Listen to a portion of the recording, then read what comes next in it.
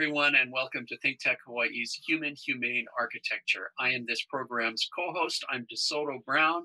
I am the Bishop Museum historian and the curator for the Archives Department at Bishop Museum here in Honolulu. And as everyone knows, on the uh, day of August 8th and in continuing to August 9th of 2023, the town of Lahaina, Maui, was tragically destroyed by a fire. At least 97 people were killed in this tragedy. And let's go to our first slide to introduce us to this program today. I was able to visit the town of Lahaina about uh, five weeks after the fire, and I was able to take the photographs that I'm going to be showing you today of what I was able to see there and document. And while I'll be talking about the situation in Lahaina today, as I was able to see it, I'm also going to be thinking about uh, talking about some of the things that we can look forward in the future to what Lahaina is going to turn into and how it's going to be rebuilt. This photograph shows you the sign, which is stands next to the uh, edge of the Honua Pi'ilani Highway on the Ka'anapali side of the town of Lahaina, welcoming you to what was the historic and very economically important town of Lahaina. So now let's go to our next slide. When you go to Maui today, after the fire, you do not see on in most of your encounters on the island, just as a visitor, as I was, you don't see a great deal of evidence of the fire because while there was more than one fire on Maui, the one in Lahaina was obviously the worst one. And if you're not there, you don't see a lot of evidence of it. But there is a very big economic impact to the island, which is something I'll be talking about as well. You do, however, see evidence of the disaster that occurred there. And one of the reasons you see that, of course, is that there are emergency services still in place in a number of places. These photograph, this photograph was taken in Kahului, Maui, to show you where some of these emergency offices were located. And I, thousands of people obviously were affected by the fire, not only in Lahaina, but elsewhere too. So the need for emergency services from the government is very strong. There was a lot of discussion at the beginning of this disaster back in August of was the adequate was the response from the government adequate not only the federal government but the county and the state and a lot of private people had to step in private citizens had to step in for emergency services right after the disaster had occurred next slide now, when you go to Lahaina today, a lot of it is still closed off, and there are very good reasons for it to be closed off. But when you get there, you'll see a lot of signs like the ones that you see here that uh, designate where the closures are taking place. So there's a lot that you don't get to see. So when I was there taking photographs, obviously a great deal of Lahaina was closed off to me, and I was only able to see portions of it to get a sense of what the overall situation there was. And as I said, uh, not only are these closure signs there, but there are National Guard personnel who are at particular uh, checkpoints that prevent people from going into a variety of locations. And the streets are closed off. And there's also fencing up, uh, like construction fencing that you can see in the background of the lower right photograph that shuts off the view of the disaster areas. And there's also there to prevent dust from blowing around. And that's something that's important as well. And here in our next slide, this is what I'm talking about. This is why areas of Lahaina are still closed off. And it's because in the burned area, there are a lot of dangerous elements. Now, first of all, right after the fire happened, emergency personnel had to fan out through the ruins to search for human remains because, as I said, 97 identified victims are now known, people who have are known to have been killed in the fire. And initially, the emergency workers were looking for people. And this photograph shows what is probably an abandoned car in a burned out neighborhood. But you'll notice that there are two spray painted X's on the windows of this car. That shows that even though it wasn't burned, and even though it probably wasn't even operable at the time of the fire, it was checked by emergency personnel to be sure that there was no human body or bodies contained in it. Well, they had to do that all throughout the ruins, all throughout Lahaina, the destroyed part of Lahaina, which is a lot of it. And not only uh, did they have to check for people, But there are a lot of dangerous parts of the ruins. There are things that can cut you, there are things that can hurt you, poke into you, that you can step on and hurt yourself. But there's also contamination from a variety of substances which burned uh, things like batteries, lithium batteries, not to mention plastics and other things. So, this is why most of Lahaina is still closed off. They are beginning to open Lahaina up for selected people to go to their property to check on their property for possessions. But even so, you people are being warned don't sift through the dust and raise the dust, which could be harmful for you to breathe. Next photo. Now, even outside of the burned area, there is a strong economic impact from the Lahaina fire. And this photograph shows the Whalers Village Marketplace Shopping Center, which is located in the Ka'anapali Resort District. And as you can see, as of five weeks after the fire, even though this was not burned, this is miles away from the burned area, there are no people visible. There are no shoppers and nobody going here to eat or drink either. And that is because the Ka'anapali area, which contains a number of hotels and condos and has many rooms available, is mostly now still in use by fire refugees who are being housed there, as well as emergency personnel from the government as well as private aid organizations. So there aren't any visitors there. There are they're not at the hotels are not accepting people from outside. So that means that the stores and the businesses that depend upon those visitors are not getting any customers. And in the next photograph, you can see here's a sign on the door of the upscale Louis Vuitton store saying that they are currently closed.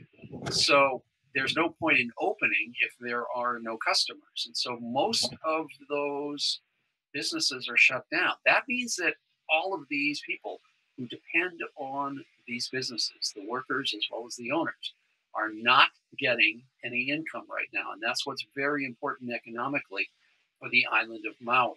Next photo. Another shopping center, which is located in the town of Lahaina itself, is this one. This is the Cannery Mall. This is the only enclosed indoor shopping mall on the island of Maui. And even though the area all around it was burned, it did manage to survive intact. That is to say, without being burned. However, even though by the time I visited, five weeks after the fire, the two major uh, anchor tenants were open that is, the Safeway supermarket and Long's drugstore. The rest of the businesses were still closed and had been closed for more than a month at that point. Now, even though the building was not damaged, uh, there still are problems that they are dealing with there. And in this next photograph, you can see what I'm talking about. First of all, there's still no electricity and there's still no water service. So that means that most of the businesses cannot open. Furthermore, because there's no electricity, there's no air conditioning. And that means that they had to install all these emergency generators slash air conditioning machines inside and outside the enclosed part of the mall. And these all belong to a company called Belfor. Belfor is a disaster mitigation company, which is a national American company. And they come to situations like this to deal with disasters, to help out in a variety of ways, including cleanup. But here in the mall, even though it wasn't burned, I'm sure that it was entirely inundated by smoke for hours. And that means a lot of the merchandise inside the mall is going to have received smoke damage. It's going to smell bad at the very least, which means that customers are probably not going to want to buy clothes that smell that strongly of smoke. So these are the many things that have impacted people, even uh, in buildings that were not destroyed or damaged by fire. Next slide. So, why did this disaster happen? There were a number of things that all came together at the same time in a very unfortunate way to cause the disaster. And the first one was high winds. Those high winds affected all of the Hawaiian Islands, not just Maui and not just Lahaina. And in this photograph, you can see wind damage that was still in place five weeks after the fire. This is a plastic fence which was blown down by the winds, which in Lahaina were at least 60 miles or more per hour, and that's enough to cause significant damage. This all occurred because of a weather pattern, which was high pressure to the north of the islands and low pressure far to the south of the islands from a hurricane which was passing by. That hurricane did not effectively did not directly affect us. The winds of the hurricane were too far away, but the wind, the air wants to go from high pressure to low pressure in an overall weather weather pattern. And Lahaina is particularly susceptible to very high winds being generated, or maybe even stronger, by the process of flowing over the mountains, the West Maui Mountains that you see in the background, and going down the slope. And that's what happened here. So on that day of August 8th, very high winds were blowing, again, as I said, over 60 miles an hour. And in this next slide, we see again another evidence of what that caused. And this is an uprooted monkey pod tree that obviously has been cut down by the time I was able to take this photograph, but it's been pulled out of the ground by the roots. Well, not only were trees blown down, but branches were broken off, and that could cause a number of problems. There was structural damage to buildings as well.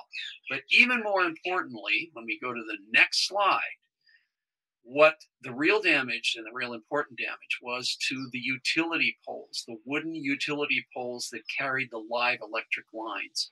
Those poles were tipped over, some of them were broken off, they were knocked to the ground, and live electrical wires made contact with the ground. Now, there is still at this point no official statement as to exactly how the fire started, where, when, etc. But we do know that in the early morning, uh, after about about 6:30 in the morning, live electrical wires were blown down on the hillside above Lahaina. They made contact with dry grass. The fire that that began was fought by firefighters for several hours. They left after it was contained, meaning it was not spreading any further, but it was not entirely put out.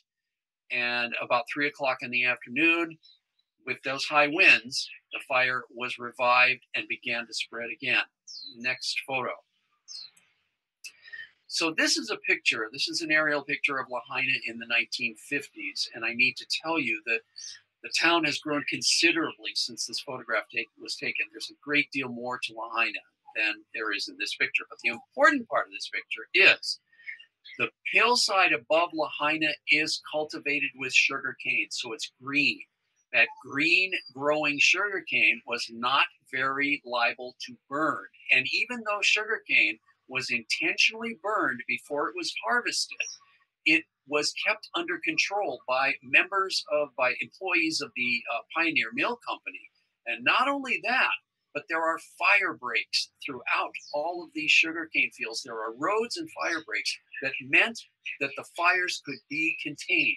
Well, the Pioneer Mill is long since shut down. There is no more sugarcane cultivation, and that means that the dry grass and scrub that took over the former sugarcane fields is now very liable to being burned without any control. So let's look at this in the next slide, and we very clearly see right here in this picture a division between burned grass on the left and I mean unburned grass on the left, excuse me, and burned grass on the right. What's happened is that a number of invasive plant species have now taken over this formerly cultivated land. And during the winter, when it rains, the grass and the scrub will become green and grow. And in the summer, when there is no rain, it dies back or dies off completely. And then it's liable to burn. So, right here in front of us in this picture is the exact situation that occurred on the hillside above Lahaina, which then led to the catastrophic fire. In the next photograph, we also see that unfortunately there are other invasive plants in this area that contribute to the fire damage. And because these are invasive, very tough plants, they don't get killed by fire. They will continue to grow. So in the picture on the left, you see haole koa. This is a very common shrub throughout the Hawaiian Islands in, in dry areas. It's woody, and even if it burns, the roots stay alive and it will resprout. Now, on one hand, that's good because it prevents uh, a lot more destruction happening from wind and water erosion, but at the same time, it also contributes to fires. So here's a burned haole koa bush sprouting again very luxuriantly from its roots. And on the right, something called wild tobacco, which again, right here in this very difficult setting next to the ocean, burned by the fire but not killed and it'll regrow and it will contribute to fires in the future as they occur, unfortunately. Next slide. Well, staying with vegetation and trees, etc., one of the things you can clearly see in Lahaina is the division between what burned and what didn't by what trees have died and what's dead and what's still green and alive. So in this picture, you see the very arbitrary nature of the fire, how some structures and some things burn, and right next to them, other things survive. Well, these mango trees really clearly show that. The one on the right is possibly completely dead, although it does appear to have some greenery in it. In it. But on the left or right in the center of the picture, you see a, a burned tree, mango tree, that the, the right side is completely alive. And it is these green leaves, which I have to say give you a sense of hope and regeneration as you look over this burned landscape, which is so tragic. And in the next photograph, here are, again, evidence of trees that fortunately have survived. In the picture on the left, there are coconut palms growing next to Honoapi'ilani Highway, which very clearly are burned. The tree, the leaves hanging at the base of the crowns are dead from the fire but there are green leaves in the centers of the crowns. This was an exceptional situation because just Mauka of these trees is a building that did not burn in a park. The open space of a park in the midst of suburban houses meant that the fire was not as intense. And these trees survived as well as across the highway on the Makai side, in the picture on the right, there is a living mango tree that again was not killed because the fire was not able to burn so intensively in this area. Next photo. The tree that has gotten the most attention in Lahaina, very rapidly so, is the ancient banyan tree right in the center of town. It is this year celebrating its 150th year of being planted in this location. It was planted in 1873. The photograph on the screen right now is 50 years old.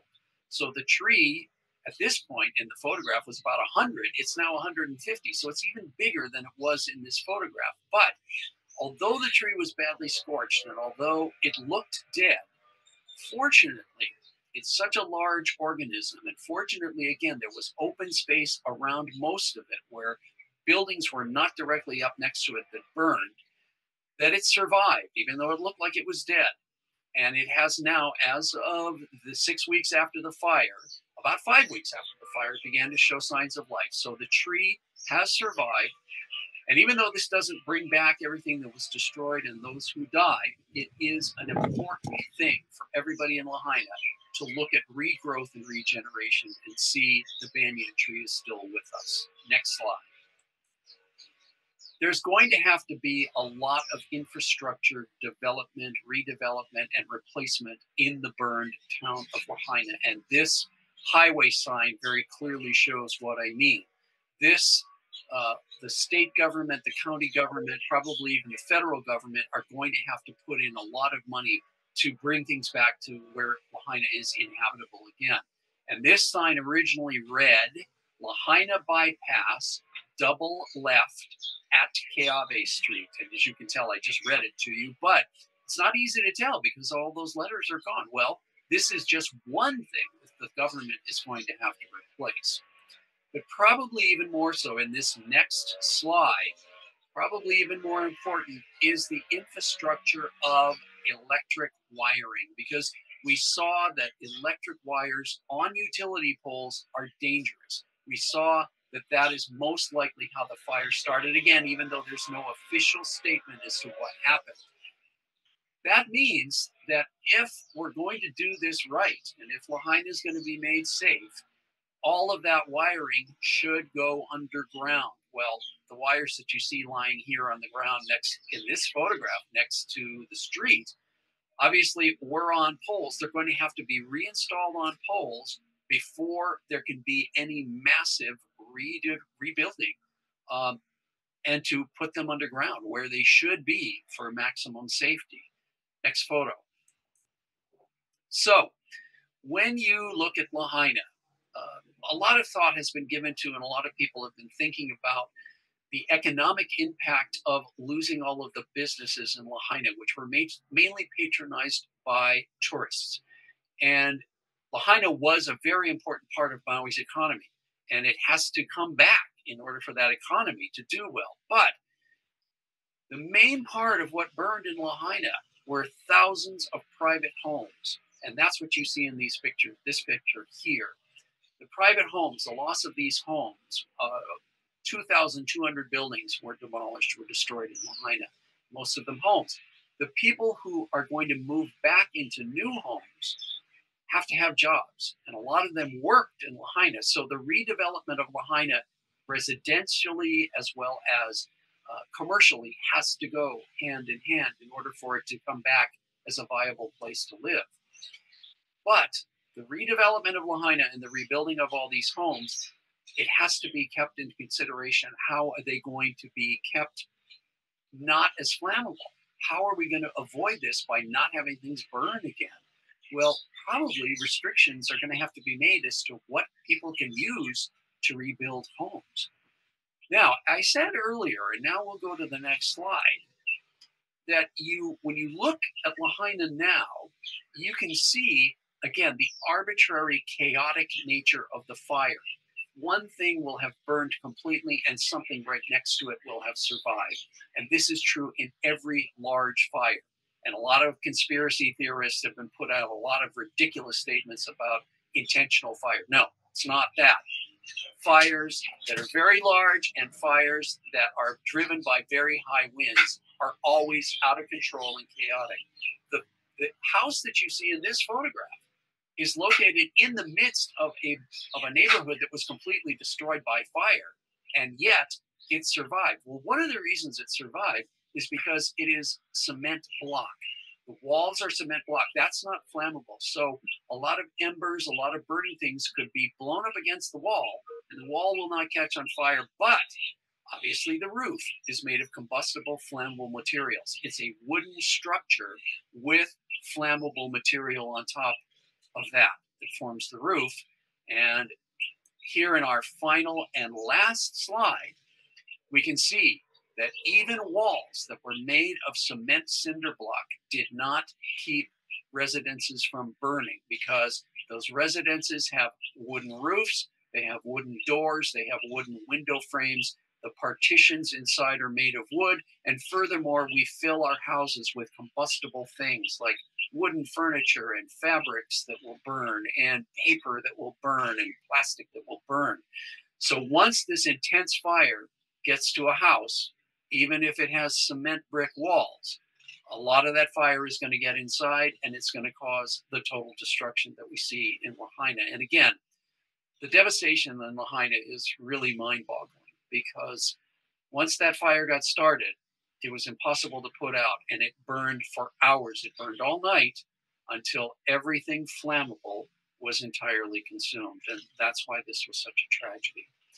So that brings us to the end of part one of this two part presentation about the town of Lahaina as it now appears in the month of September 2023, six weeks after it was destroyed by fire. So I'll be back with my part two show uh, the next time I'm here on Think Tech.